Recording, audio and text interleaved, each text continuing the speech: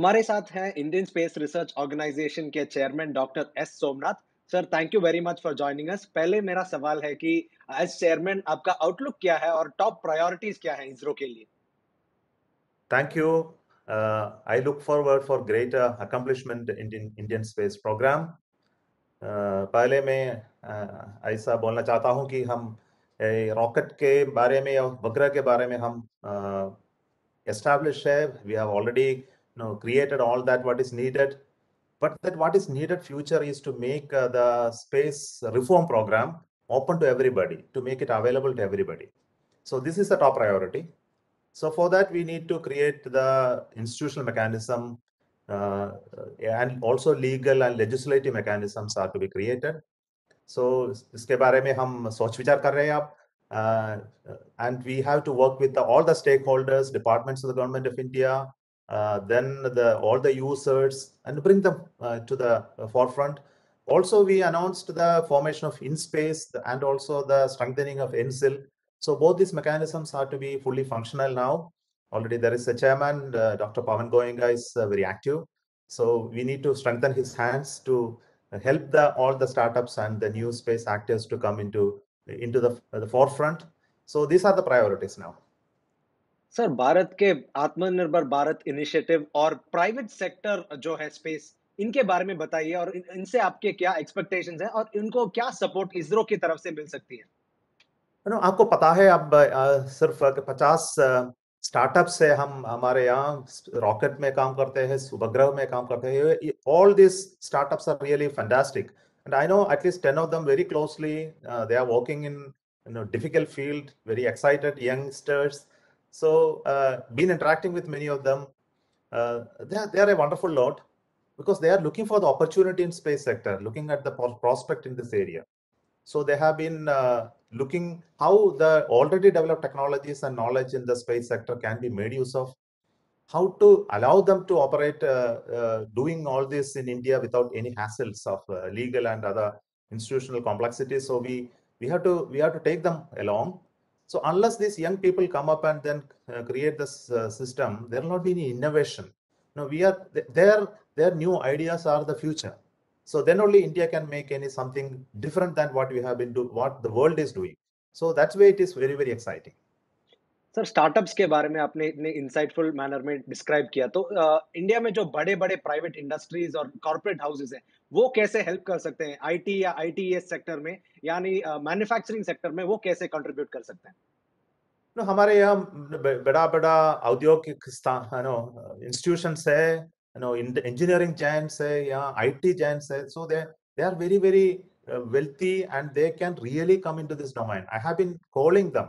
So come and invest in space no this is an exciting area and another thing you can do is to help these startup companies to you know support them financially uh, and also organizationally because space is such an unforgiving area uh, these startups once they getting get into the area they may survive only if they are successful in their initial launches and initial missions. So they should be supported to handle failures. Uh, unless they are supported, they, they may not su succeed because uh, uh, with the financial support and the institutional support only it is possible. But we can, ISRO can help them in technology support, but they need a much bigger support from big houses. So big houses of industry are to take up this challenge to build huge systems for the country.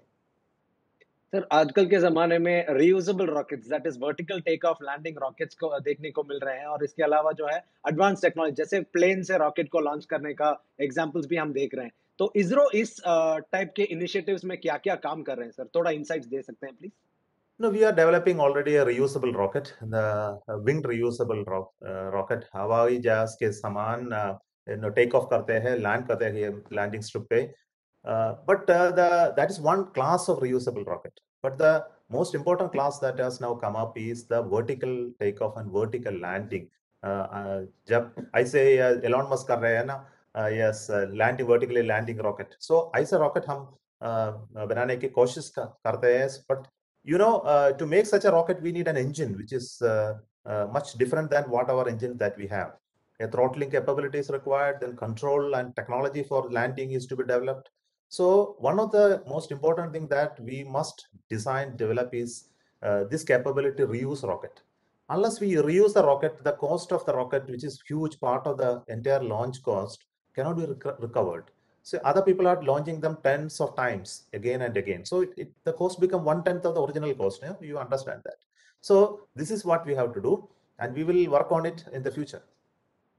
Sir Bharat के लगभग 50 साल के legacy है space industry में और इसरो के कारण तो इसका फ्यूचर क्या है sir like in terms of launch vehicles advance launch vehicles और in terms of miniaturising satellites and electronics इसमें हम क्या क्या काम कर रहे हैं सर नो हमारे यहाँ कई इंडस्ट्रीज से and and if you have to make this space program more I know reachable to people then we have to bring space applications into every activity of this country so this is the first thing to do so create an economic activity around space you know institution so this is the first thing and once you have, then there will be demand for more satellites.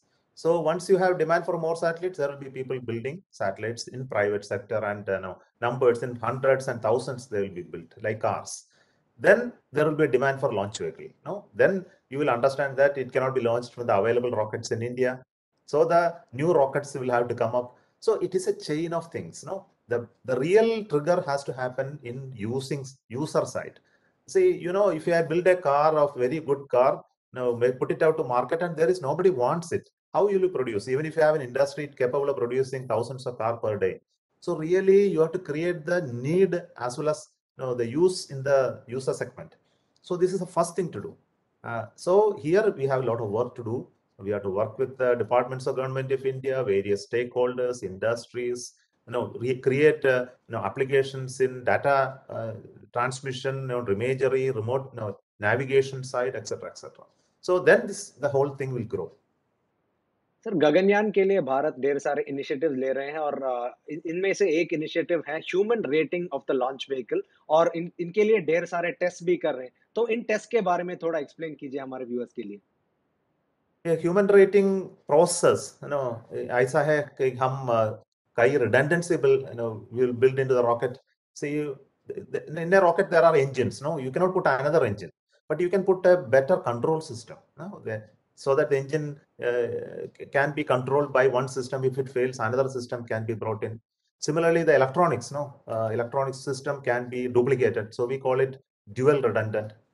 But in human rated rocket we put four such systems. So it's called quad redundant. So even if one fails second will take over second fail third will take over.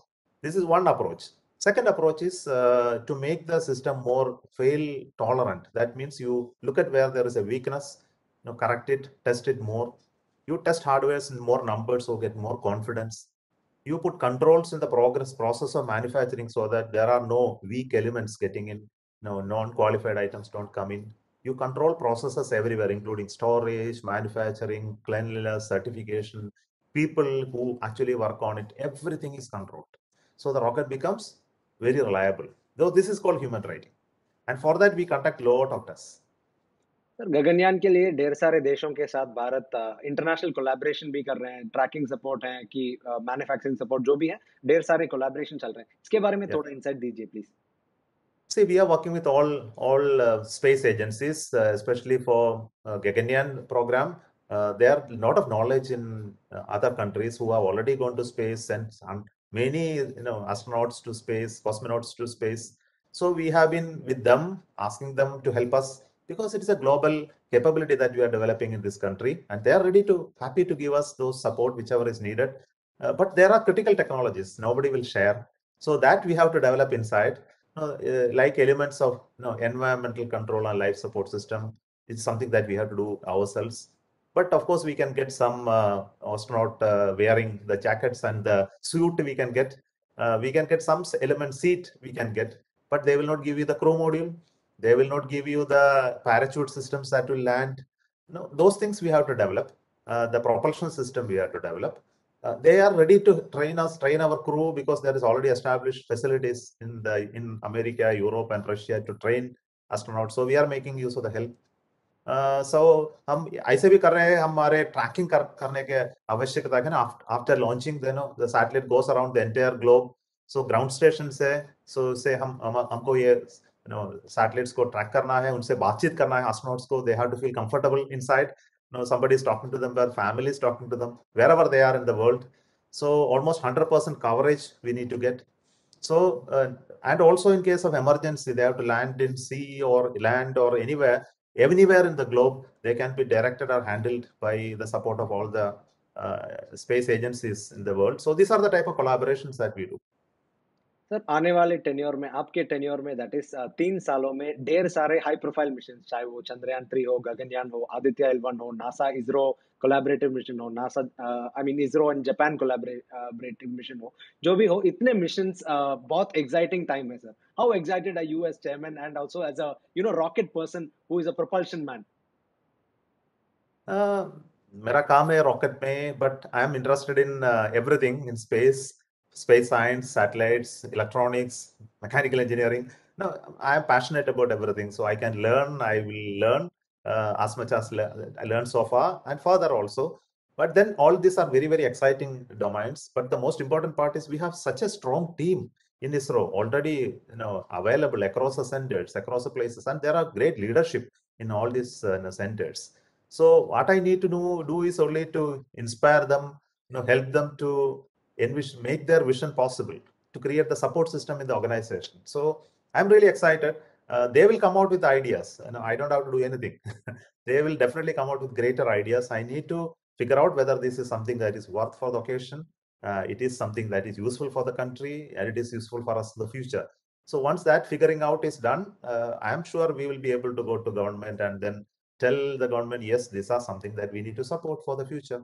So I believe it will be possible with all the support of the organization, the people of this country, and also the stakeholders of space program. We will have definitely a greater uh, times ahead.